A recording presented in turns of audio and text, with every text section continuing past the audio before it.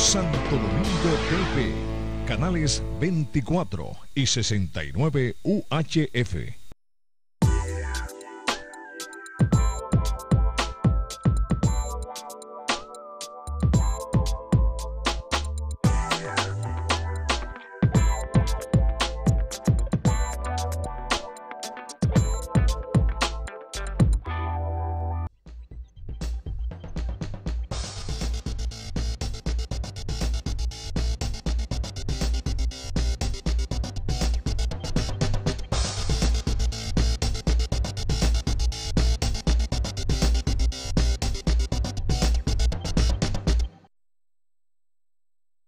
Tardes, amables televidentes y al punto. Aquí estamos como cada tarde de 12 a 1 por este su canal Santo Domingo TV 2469 UHF y la red de canales de los sistemas de cables en todo el país.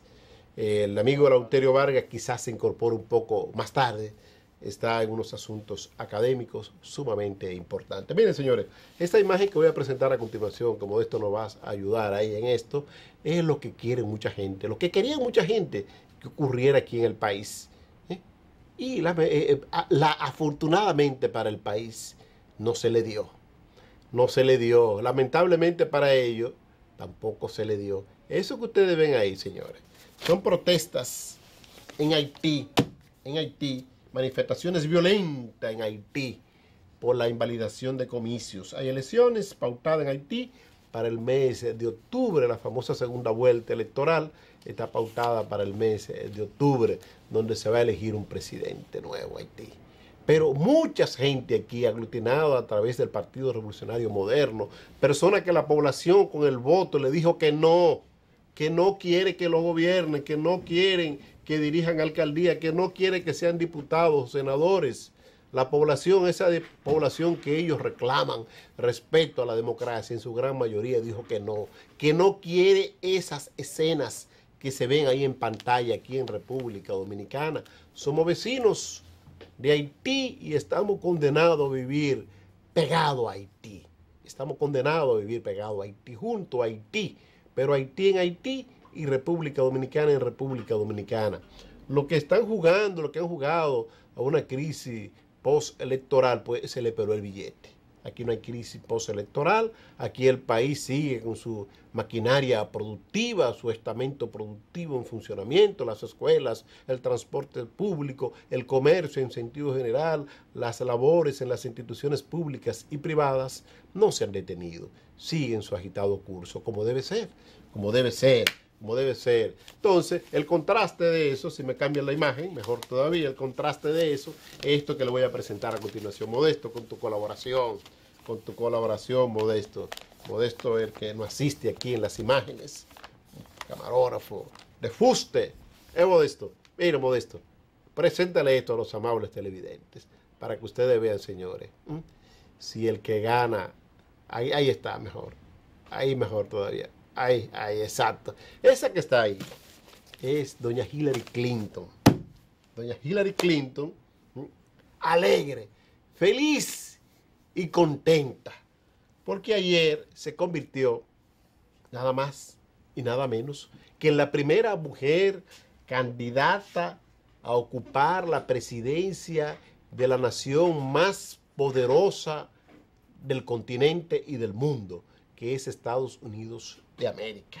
Hillary Clinton, una, eh, una mujer con una larga trayectoria, un largo recorrido político, largo recorrido político, ha sido eh, secretaria de Estado, ha sido canciller de los Estados Unidos, la jefa del Servicio Exterior, eh, fue una valiente primera dama, una valiente primera dama, desempeñó un rol sumamente fundamental, sumamente básico en, la reelección, en la continuidad del gobierno de su esposo, el señor Bill Clinton.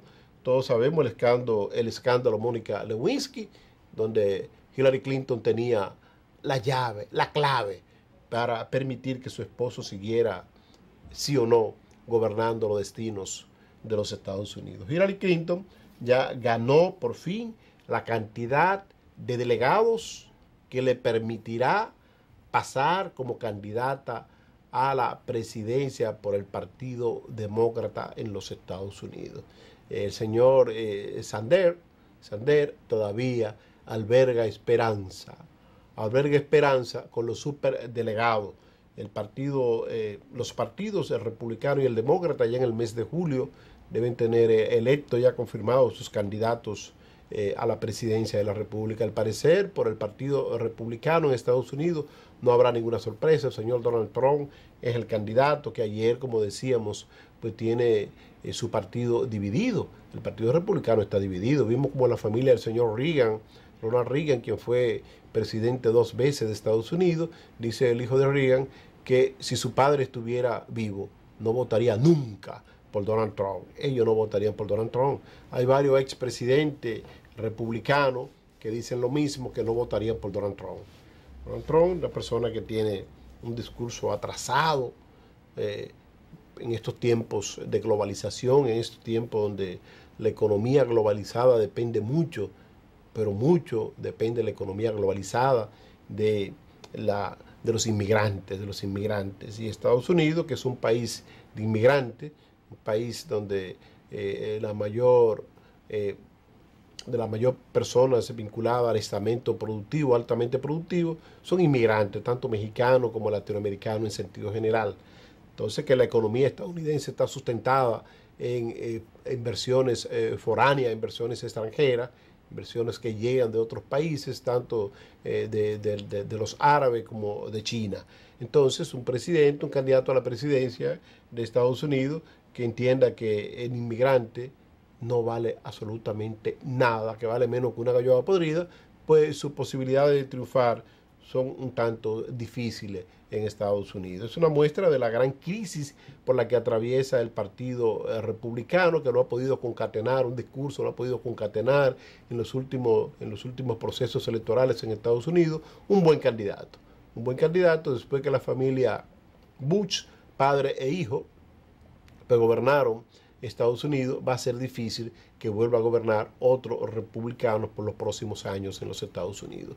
En el ámbito de los demócratas, Estados Unidos ha estado gobernado por el Partido Demócrata en los últimos años.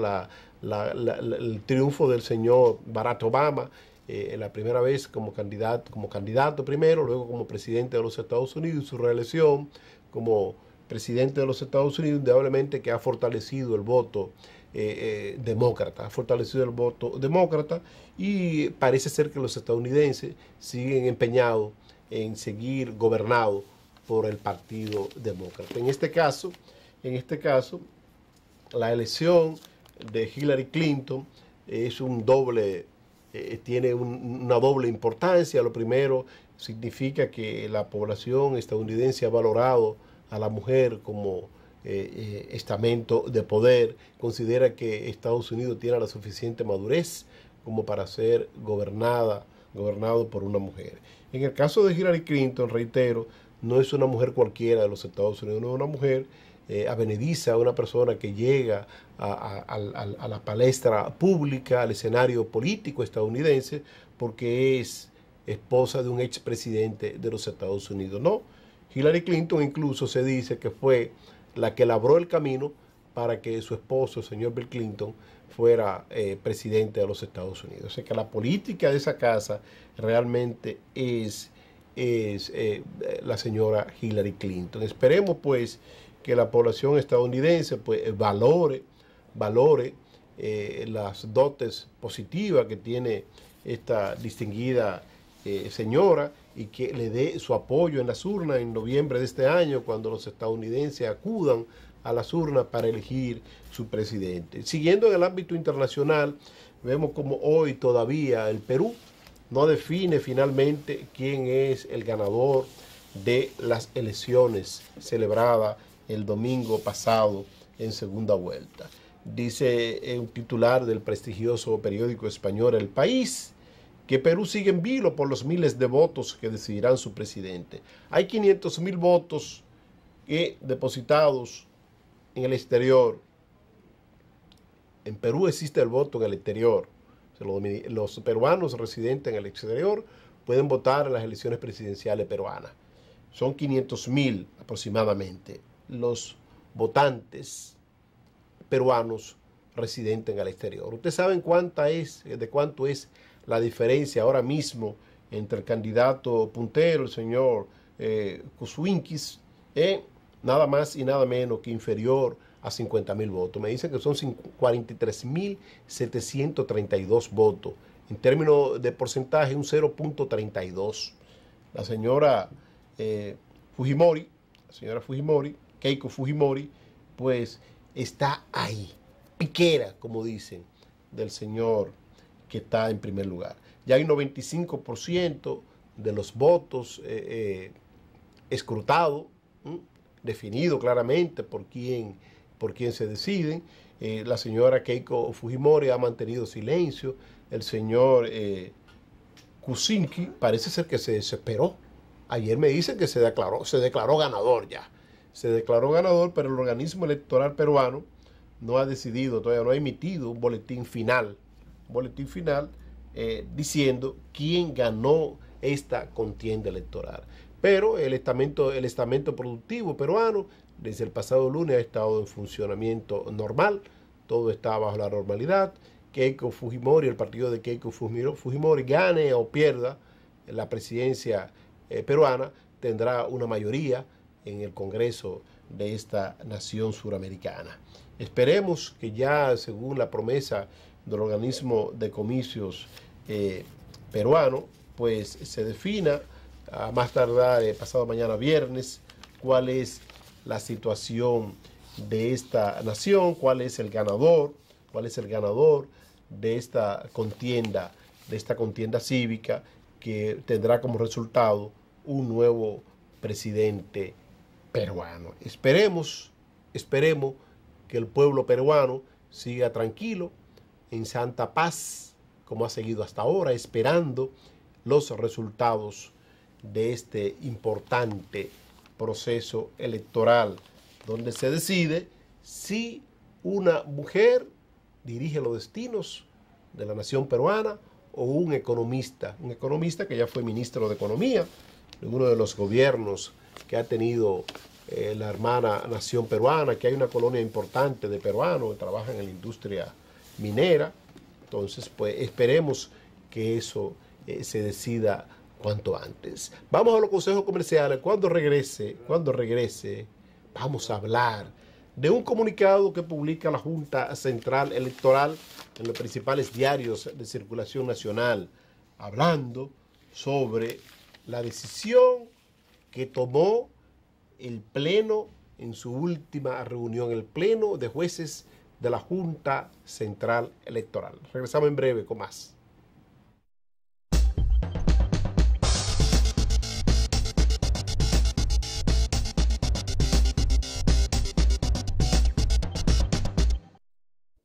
Dominicana es más que playas o ríos, más que dunas o montañas. Es un lienzo pintado de bendiciones, color, cielo y mar.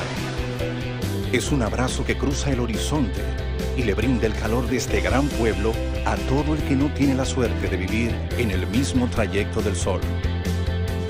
Es alegría, porque quien nos visita recibe de entrada una sonrisa y se lleva la calidez de cada dominicano, que se desvive para que se sienta como en su propia casa, para que cuando vuelva ya no sea como un turista, sino como familia.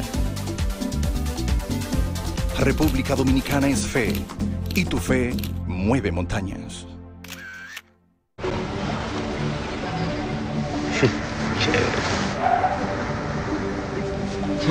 Mira eso, tomando al volante. Piensa que es un gato de siete vidas. ¿Y este? Manejando con las luces apagadas. ¡Wey, pana! ¿Y tú qué crees que eres? ¿Un murciélago, eh? ¿Y tú? ¿Corriendo tanto? ¿Qué eres? ¿Un conejo? Tú te crees especial, pero la ley es la misma para todos. Respetar las leyes de tránsito es respetar la vida. Una campaña del gobierno de la República Dominicana. Hay una tierra en el Caribe llena de vida y color que despierta sentimientos y que llena de emoción. Siempre ha sido la primera, de riquezas está llena, de alegría que se entrega a quien a esta tierra llega. Es una tierra de primera. Playa, cerveza, cacao y ron, tabaco, merengue y corazón.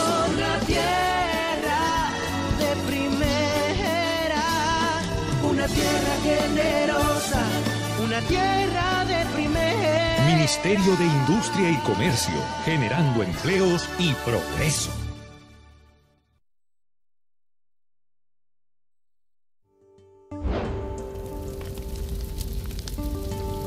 La vida es un viaje en el que debes disfrutar cada instante. Cuidar lo que más quieres y luchar por cumplir tus sueños. Saber que estás preparado para enfrentar lo inesperado te convierte en una persona segura y te da tranquilidad. Prevención es seguridad. Seguros Banreservas. Responde de una vez.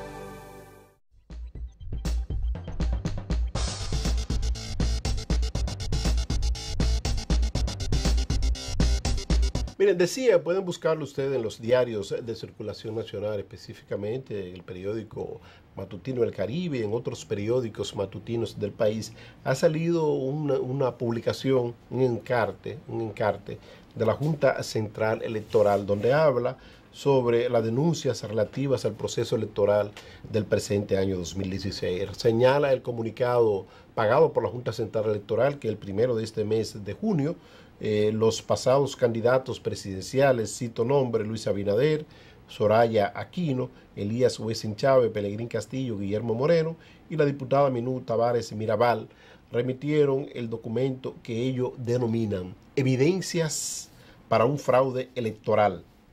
Los distinguidos ciudadanos señalan que dicho documento contiene el conjunto de maniobras y hechos fraudulentos debidamente probados que nos permite reconocer como valedero los resultados de ese alto organismo ha estado anunciando, que, que le permite eh, reconocer como valedero los resultados que ese alto organismo ha estado anunciando.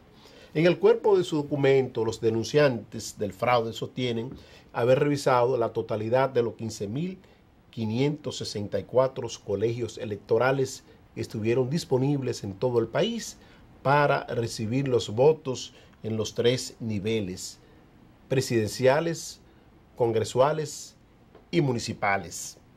A fin, dice la Junta Central Electoral en su comunicado, a fin de conocer los documentos sobre la citada denuncia, el juez presidente de este tribunal electoral pues convocó para el 6 de los cursantes, el pasado 6 de este mes de junio, a los señores Joel Antiguo, el Pleno, Mario Núñez, directores y subdirectores de elecciones respectivamente, y a los señores Franklin Frías, Luis Leger y Alfredo Soler, directores y subdirectores de informática de la Junta Central Electoral. O sea, en adición a la reunión del Pleno, se invitaron estas cuatro personas, directores y subdirectores de dos áreas sumamente importantes de la Junta, para conocer la dimensión de esta denuncia presentada por los perdedores en el pasado proceso electoral dice que las actas analizadas y presentadas como evidencias totalizan 83. Oiga bien, el gran fraude que dicen los seis que no fueron favorecidos con el voto popular,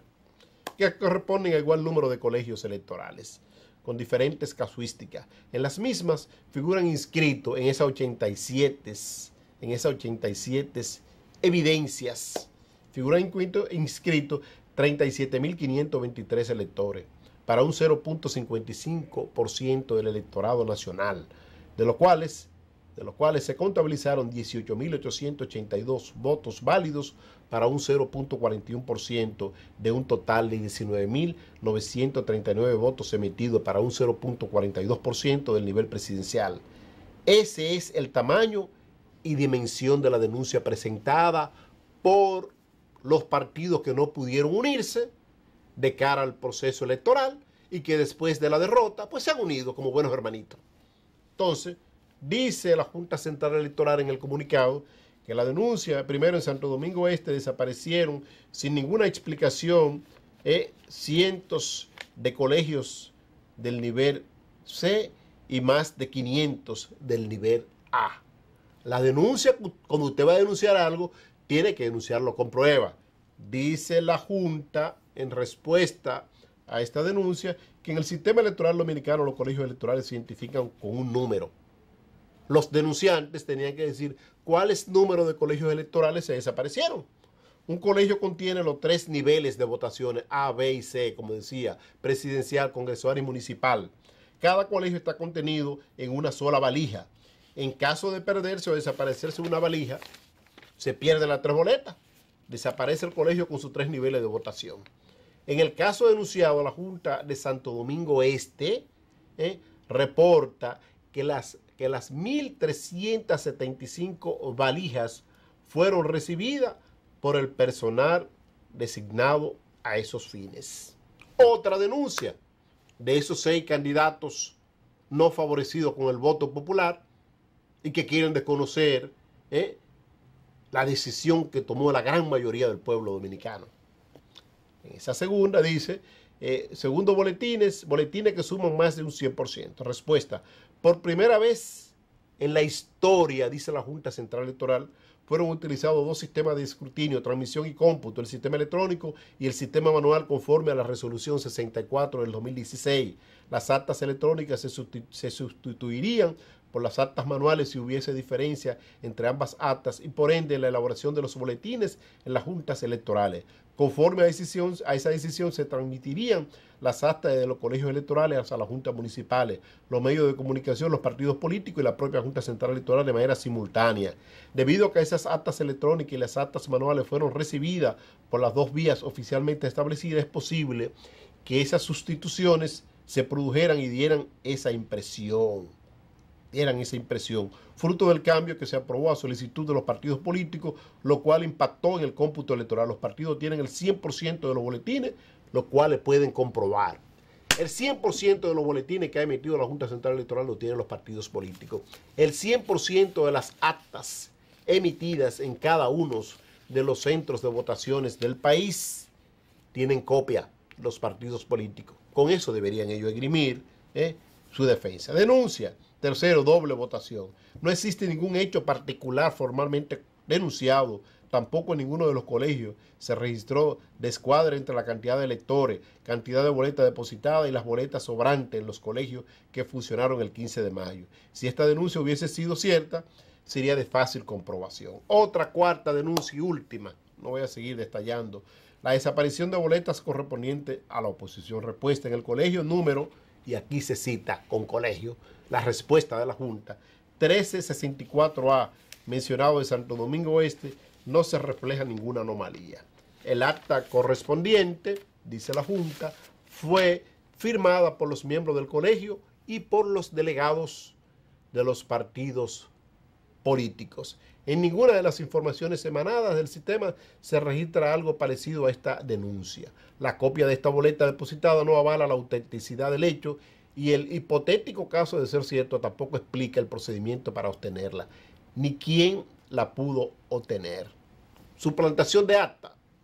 Yo decía hace un momentito que queda a Faufil contestado esto respuesta a esta denuncia. Los partidos políticos tienen acta de todos los colegios que operaron. Los partidos políticos, por lo menos mayoritarios, que pudieron tener representación en cada uno de los centros de votaciones, como es el caso del PRM otra denuncia es el trasiego de votos del PRM al PAL y al PASOE.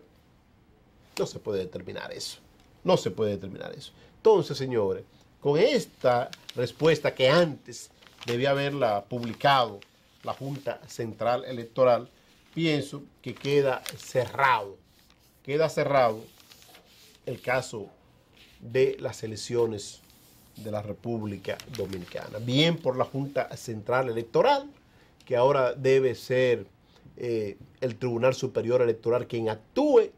La Junta debe concluir el proceso de validación de actas en lugares, por ejemplo, como Neiva, que hay ocho, ocho actas que la Junta Municipal Electoral de Neiva no tiene la valentía, la gallardía de registrar, de computar. Esas ocho actas podrían decidir las diputaciones en el municipio de Neiva.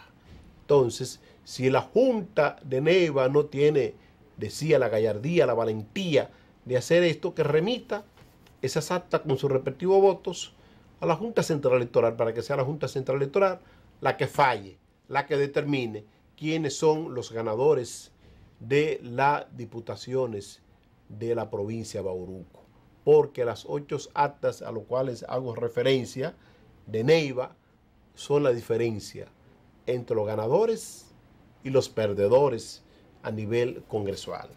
Cuanto antes debe ocurrir esto para sellar, sellar el proceso electoral dominicano y que el, el estamento productivo nuestro continúe su agitado curso, que el país pueda seguir funcionando de manera normal como debe ser, que concluya este episodio, que en esta ocasión ha sido menos lastimoso que en otras, la famosa España boba, como yo he llamado el ciclo de tiempo del 15 de mayo al 16 de agosto, cuando se juramenta el presidente electo, las autoridades electas en las elecciones del 15 de mayo próximo. Esos tres meses parecen ser eh, el periodo de la España boba, donde el tiempo como que se detiene, que se detiene y la gente, la gente siente que el estamento productivo no está en su, en su funcionamiento normal. Esperemos que, esto, que todo concluya felizmente y que las y los dominicanos podamos entregarnos en cuerpo y alma a la producción como se requiere, como se requiere.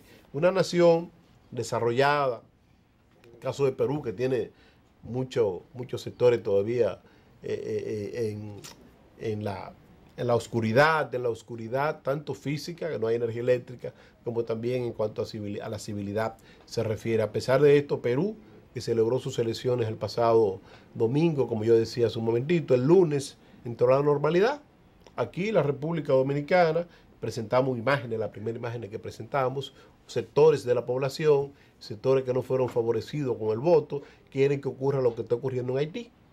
Que en Haití hay una inestabilidad, hay un desasosiego, la gente protesta en las calles, sacan, queman goma, eh, obstaculizan, ponen obstáculos en la vía pública, andan con un ataúd en, la, en las calles y avenidas de Haití. República Dominicana no es Haití. Aquí, aquí, los sectores que no fueron favorecidos con el voto popular, reitero, han querido presentar una imagen a nivel internacional de que República Dominicana está en crisis, que hay una crisis postelectoral y no es así.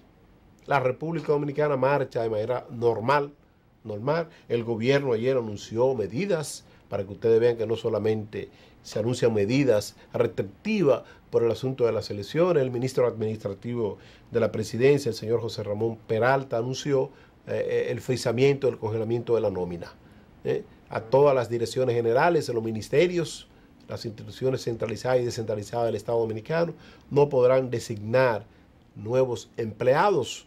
Los que están contratados concluye, su contrato ahora en el, el, último día de este mes y hasta luego, hasta luego, hasta luego. Y es justo que se haga esto porque el gobierno necesita pues eh, eh, eh, acoplarse, acoplarse acorde con la realidad. Vamos a la pausa comercial. Cuando regresemos vamos a ver qué le pasó a 40 dirigentes del Partido de la Liberación Dominicana en Atomayor que fueron expulsados por alta traición. Regresamos en breve con más.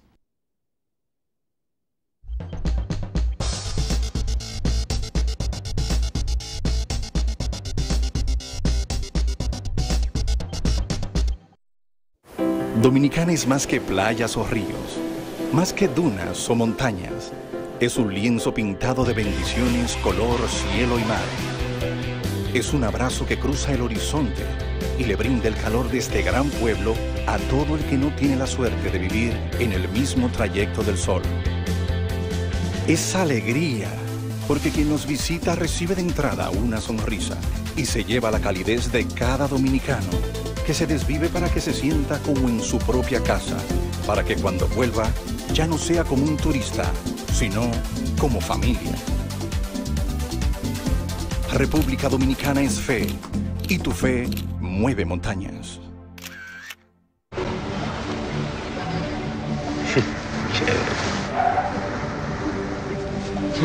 Mira eso.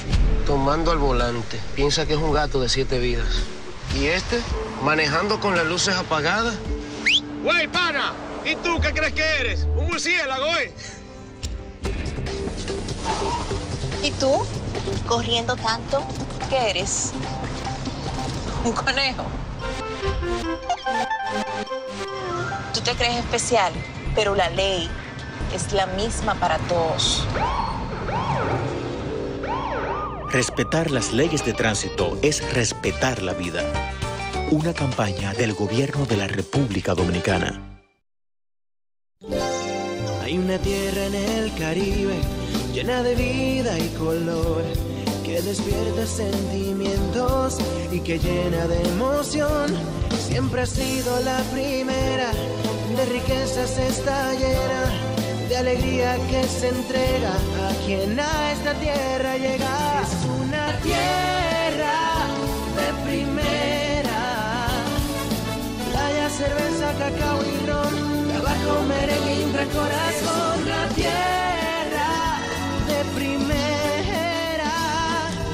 tierra generosa, una tierra de primera. Ministerio de Industria y Comercio, generando empleos y progreso.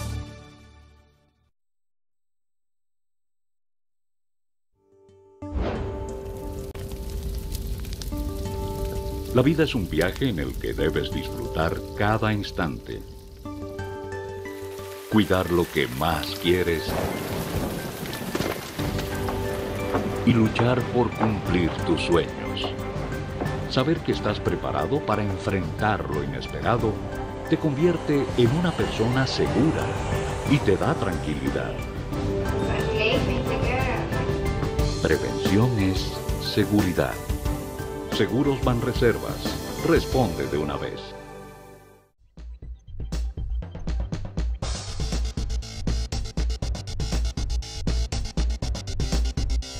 La dirección municipal del Partido de la Liberación Dominicana en Atomayor anunció la formal expulsión de 40 dirigentes de esta entidad política. ¿eh? Y con razón, con razón, oigan bien los alegatos ¿eh? que grime la dirección municipal del PLD en Atomayor. Dice que esta gente fueron expulsados por alta traición a la patria y al Partido de la Liberación Dominicana. Oigan bien, porque entre los expulsados figuran el ex diputado y actual ministro de Contrataciones Públicas, Santiago Vilorio Lizardo. ¿Por qué fue expulsado este señor? Se presentó como candidato a senador por la alianza PRM, Partido Reformista Social Cristiano. Hay que expulsarlo, queda votado él por sí mismo automáticamente queda expulsado porque se presentó como candidato a una posición electiva por, otro, por un partido diferente al suyo. Entonces automáticamente queda fuera. Así como el subdirector del CEA, oiga, funcionario ese, Amado de la Cruz, Ramón Santana, encargado de fomento industrial. Encargado de la dirección de fomento industrial. También fue expulsado usted tiene una posición en el gobierno y se va a presentarse a una posición electiva por otra entidad política, pues amén, siga su camino. Otro separado por supuesta traición a la línea del presidente Danilo Medina de votar solo por los candidatos de la alianza PLD-PRD son el señor José Altagracia Flores de la Rosa, encargado de mantenimiento del Play Municipal, con 35 años en el PLD. Y no conocía lo que es el PLD, no conoce lo, lo que es el PLD. Pues entonces bien votado está. ¿eh? Franklin Villanueva, Héctor Peña, Héctor Peña Villa, entre otros, entre dirigentes en toda la geografía provincial de Alto Mayor. Pero oigan lo bonito de esto, los expulsados han revelado que en cuanto reciban las notificaciones por escrito de las suspensiones, elevarán un recurso de amparo por ante, por ante el Tribunal Constitucional. Que lo eleven. Que votado está y votado van a quedar. Porque si usted se presenta por un partido diferente al que usted pertenece en una boleta electoral, significa que ya usted no quiere absolutamente nada con esa entidad política, que usted decidió, decidió trillar un nuevo camino. Entonces estos acusan de inmediato al senador Rubén Cruz, mi directo y apreciado amigo, senador de Atomayor, ¿eh? y al diputado José Alberto Vázquez, y al gobernador civil Manuel de la Cruz, de promover las expulsiones. Ustedes fue lo que se expulsaron, señores dirigentes, ex dirigentes del PLD en Atomayor. Ustedes son los que se expulsaron y con esas expulsiones no se le hace ningún daño, como ustedes dicen, al presidente Danilo Medina y al gobierno del presidente Medina. Muy por el contrario, se le hace un gran favor. Un gran favor porque se sale de personas que no son confiables, no son confiables. El que decide, el que decide eh, presentarse como candidato en una organización política diferente a la cual pertenece, ya también decidió, decidió romper vínculo con esa entidad política. Decidió romper vínculo con esa entidad política y que le vaya bien. Que le vaya bien, que le vaya bien. Si hubiesen ganado las posiciones para las cuales se postularon en otros partidos políticos, iban a esgrimir su derecho de ser miembro del Partido de la Liberación Dominicana, PLD. Le voy a recordar el estribillo de la canción del astro azteca José José, que dicen, pero lo dudo, lo dudo mucho que esto pudieran estar como están ahora, peleando porque lo dejen, lo dejen en el partido de la Liberación Dominicana, el partido fundado por Bosch, Juan Bosch y Gaviño, el 15 de diciembre del año 1973. Ha llovido mucho después de eso y el Partido de la Liberación Dominicana ha cambiado como todo cambia en la vida. Todo cambia, dice la canción eh, de Mercedes Sosa, todo cambia. El cuerpo cambia, los años pasan para cambiar. Si el Partido de la Liberación Dominicana quizás no hubiese eh, cambiado, pues no hubiese eh, gobernado los destinos del país, los destinos del país como lo ha gobernado. tres mandatos consecutivos va a tener ahora y un primer gran mandato, 96, 2000, eh, no, cuatro mandatos consecutivos va a tener el PLD ahora, dos de el, el expresidente Leonel Fernández consecutivo, la continuación de Danilo Medina son tres y el cuarto el mandato consecutivo de esta entidad política que inicia el 16 de este mes. El, primero, el quinto, fue en 96-2000. Entonces, estos cambios fueron lo que realmente realmente permitieron que el Partido de la Liberación Dominicana eh, hiciera mejor sintonía con el sentir eh, de la población dominicana, que pudiera también eh, visualizar, ya lo sabía, cuáles son los principales problemas de la sociedad dominicana y viabilizar desde el poder la solución a esos graves problemas, lo cual es el Partido Morado debe sentirse orgulloso porque le ha dado de una manera contundente a esos males que por décadas han agobiado a la sociedad dominicana, como es el mal eh, de la mala educación, valga la redundancia, la falta de inversión en educación, una ley que data del año 97 estaba engavetada y que ningún gobierno, ni siquiera los tres primeros gobiernos del PLD, se habían, habían tenido la valentía de poner en aplicación, que es la ley que establece el 4% del Producto Interno Bruto para la educación preuniversitaria. La gestión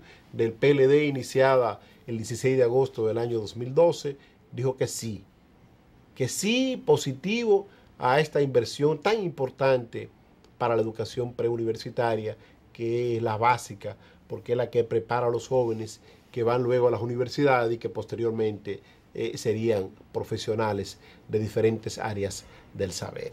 Entonces, eso, eso es lo que ha permitido esa sintonía del Partido de la Liberación Dominicana con la población.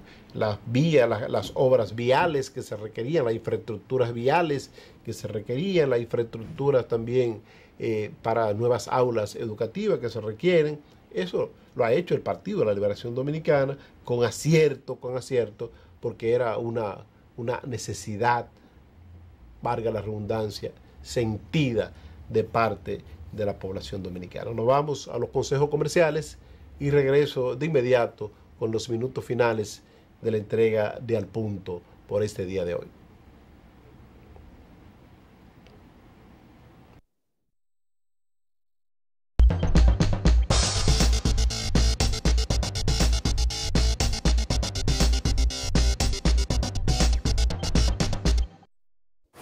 Dominicana es más que playas o ríos, más que dunas o montañas es un lienzo pintado de bendiciones, color, cielo y mar. Es un abrazo que cruza el horizonte y le brinda el calor de este gran pueblo a todo el que no tiene la suerte de vivir en el mismo trayecto del sol. Es alegría, porque quien nos visita recibe de entrada una sonrisa y se lleva la calidez de cada dominicano que se desvive para que se sienta como en su propia casa, para que cuando vuelva ya no sea como un turista, sino como familia. República Dominicana es fe y tu fe mueve montañas.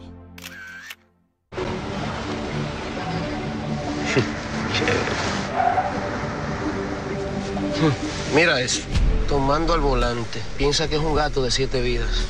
¿Y este? Manejando con las luces apagadas. Güey, pana, ¿y tú qué crees que eres? ¿Un murciélago, eh? ¿Y tú? Corriendo tanto, ¿qué eres? ¿Un conejo?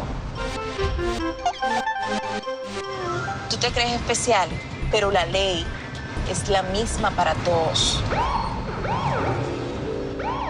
Respetar las leyes de tránsito es respetar la vida. Una campaña del gobierno de la República Dominicana. Hay una tierra en el Caribe llena de vida y color que despierta sentimientos y que llena de emoción. Siempre ha sido la primera, de riquezas está llena, de alegría que se entrega a quien a esta tierra llega. Es una tierra de primera, playa, cerveza, cacao y ron, tabaco, merengue y un gran corazón. La tierra tierra generosa, una tierra de primera. Ministerio de Industria y Comercio, generando empleos y progreso.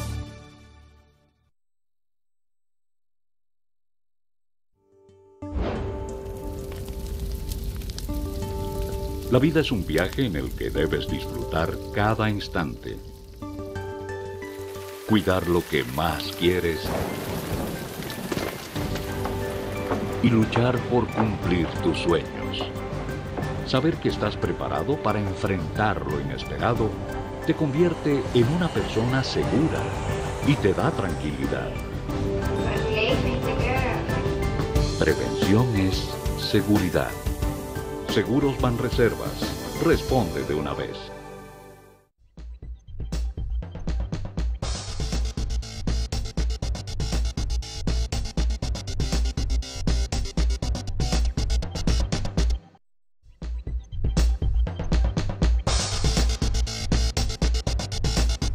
Ser muy inhumano, muy inhumano, tener muy poca sensibilidad para auspiciar como lo ha hecho, como lo ha hecho una entidad que agrupa a las enfermeras, a la señora que dirige esta entidad eh, argentina, Abreu, la señora- las enfermeras que trabajan en el Consejo Nacional de la- de la- del Envejeciente, la señora Argentina Abreu, es la que dirige esta entidad que agrupa a esas enfermeras, anunció que desde hoy miércoles y hasta el viernes, más de 2.000 ancianos que hay en el país no recibirán atenciones adecuadas, ya que ellas se van a las huelgas. Van a huelga. Van a huelga un paro de 48 horas convocado por las enfermeras de los hogares y asilos geriátricos del país. Esos señores, esas señoras que lo han dado todo por el país, que lo han dado todo por el país y que hoy día están ya desvalidos por el paso de los años. También desvalidos económicamente, no tienen con qué pagar un servicio de enfermería privado. No tienen dónde vivir. Viven en los asilos de ancianos porque es el lugar donde se le ha dado acogida. ¿eh? Se le ha dado acogida.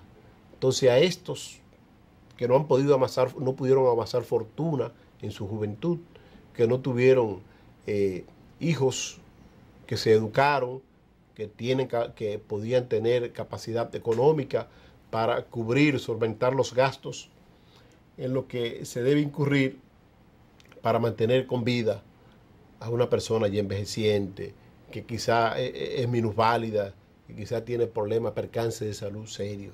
Entonces las trabajadoras de este sector informaron que estos dos días solo atenderán a los adultos mayores o a los ancianos que más lo necesiten. Señoras, debo decirle, señora Argentina Abreu, que todos lo necesitan. Todos lo necesitan. Muchas personas de esto tienen problemas de Alzheimer, tienen problemas de Parkinson. eh. Alzheimer, pues deben tomar eh, medicamentos, lo olvidan. Si no se lo eh, indican, si no se lo aplican las enfermeras que están atendiéndolo, no van a recibir esos medicamentos. Entonces es inhumano esto, hacer inhumano. Ahora, ¿cuál es el reclamo de estas personas? Reclaman que se le hacen descuentos indebidos, pero el Consejo Nacional para la Persona Envejeciente, el CONAPE, negó que realice de- descuentos y aclaró que al producirse la descentralización, las enfermeras se le está pagando el salario y los incentivos en una sola cuenta. O sea, el salario y los incentivos que reciben se le está pagando en una sola cuenta. Pero no se hacen descuentos porque ellas no lo han autorizado. No se le puede descontar si ellas no los autorizan.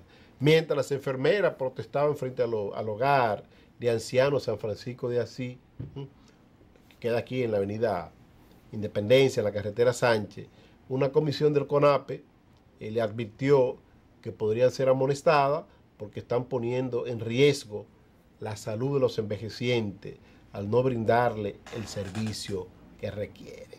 Sin embargo, la manifesta- expresaron que mantendrán su lucha hasta tanto se le dé una respuesta. Para usted recibir una respuesta, usted no tiene que poner en juego la vida de una persona, de una persona envejeciente. Usted no tiene que ponerlo en eso. Entonces, ¿qué debe hacer el CONAPE? El CONAPE lo que tiene que hacer es sustituir a estas enfermeras. Hay cientos de enfermeras que están buscando empleo por ahí. Sustituyanlo porque ellos no quieren trabajar. No quieren trabajar, quieren jugar con la vida de personas que han logrado la edad que tienen, que superan los 70 años todos, ¿eh? a fuerza de mucho sacrificio, fuerza de mucho sacrificio y con la venia de Dios que le ha protegido eh, en la salud y que tienen y que tienen todavía fuerza y voluntad para seguir viviendo, para seguir viviendo. Entonces, estas enfermeras, reitero y me excusan, el CONAPE no puede hacer más nada con ella que no sea eh, promover su sustitución. Concluye la huelga el viernes, no hay problema, iniciamos el proceso de captura de empleo de nuevas egresadas de las escuelas de enfermerías del país que necesitan incorporarse a las labores productivas, a las labores productivas. Ayer inició el patrullaje que había prometido la Policía Nacional. En la avenida Padre Castellano, Antigua 17, se vieron unidades de la Policía Nacional, pues parando, eh, sometiendo a la obediencia a personas que andan en motocicletas, eh, que podrían tener un perfil sospechoso y reteniendo la motocicleta que no están dotadas de la documentación debida. Voy a reiterar lo que dije ayer. No, es no hay necesidad de que se espere a que la situación llegue al punto de desesperación, de que las- la intolerancia de los que de los que son amigos de lo ajeno, para decirle un término más, más elegante, de los que son amigos de los ajenos, de lo ajeno, de los delincuentes, de los ladronazazazos que quieren llevarse lo que no han trabajado, ¿eh? Eh, la desesperación de esto, de querer eh, hacer asaltos en la vía pública, en lugares donde saben que van a ser capturados por cámaras de seguridad, no es la que debe mover el aparato preventivo del país. El, aparato preventivo del país de control de la delincuencia debe estar activo a las 24 horas, los 7 días de la semana, los 365 días del año. A la delincuencia no se le puede dar gabela. Enseñaron a mí desde pequeño y quizá a usted que el que da gabela tiene toda la posibilidad de perder. Eh, Aquí se le ha dado demasiado gabela se le ha dejado correr demasiado la delincuencia. Entonces, al final, lo que quieren es acusar, ah, no, que el Código Procesal Penal es muy benévolo en la República Dominicana y que por eso muchas personas que son acusadas formalmente de cometer delitos, pues son asueltos por un tribunal. Bueno, pero que sea el tribunal el que decida si, estos, si estas acusaciones que se presentan son veraces y tienen suficiente elemento de juicio como para ser procesada. Entonces, pero la policía, la, la labor de la Policía Nacional es, ¿sabe qué? ¿Mm? Someter a la justicia a aquella persona siempre y cuando ustedes tengan elementos de juicio suficientes, sea, pruebas contundentes de que esta persona puede estar envuelta en, en atracos, en acciones indebidas.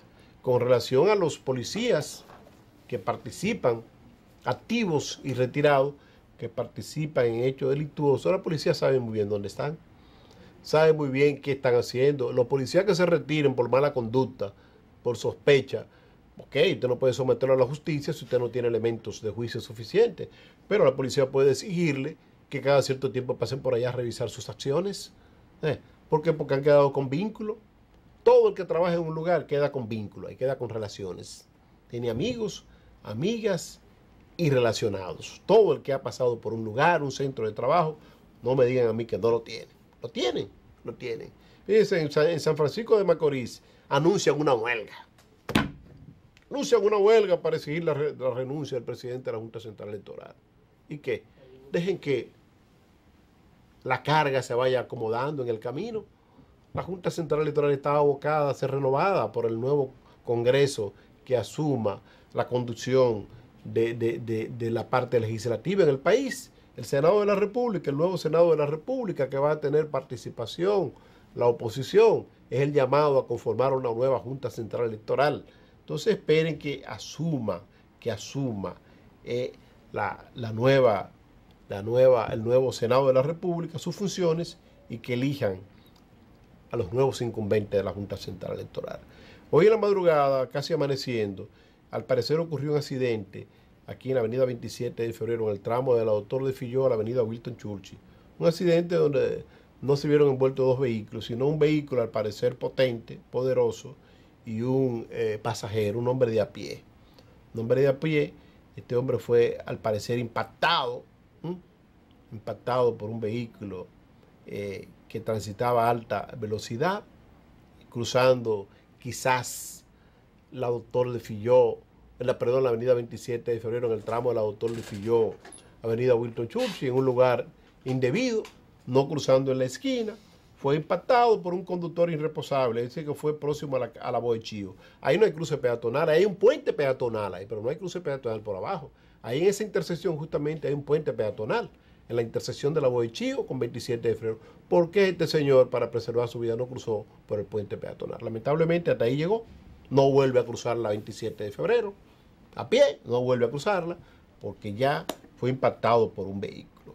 La irresponsabilidad de este conductor que no dio la cara, debió haber dado la cara, porque para eso existen los seguros de vehículos de motor. Mañana, Dios mediante, estaré de nuevo con ustedes en otra entrega de Al Punto por este su canal, Santo Domingo TV 2469 UHF y la red de canales de los sistemas de cables en todo el país. Hasta la próxima.